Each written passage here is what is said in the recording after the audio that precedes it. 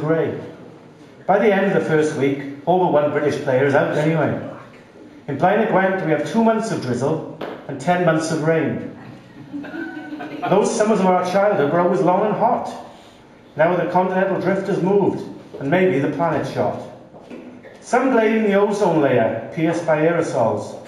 That's why the rainfall ruins our annual halls. On BBC TV, Derek Brockway constantly gives me the blues.